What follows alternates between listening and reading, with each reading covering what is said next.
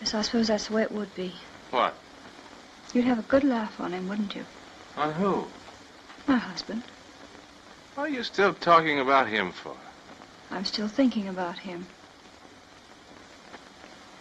No, Larry. I'm sorry. It's no go. What are you driving at? You can't make a fool of your husband? What's he made of you? Well, that's different. You bet it is. I want to thank you, Larry. If you hadn't spoken as you did, well, you've done me a great kindness. Talk sense. I am. I owe you an apology. I'm sorry. You aren't going to walk out on me like this. I'm afraid I am. You'll come back. No, Larry. No, I, I lost my head for a while today. I was pretty badly hurt.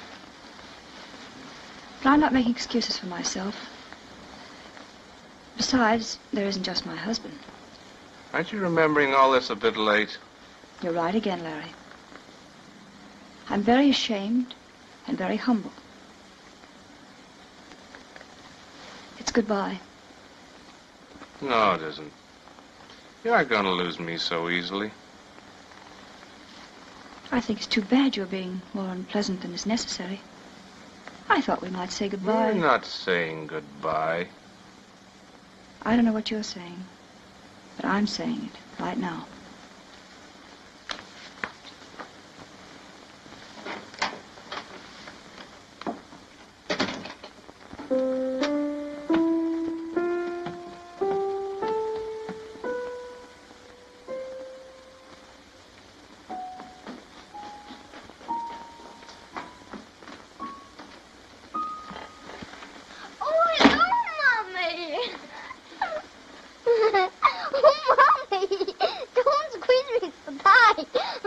I've got to my practicing.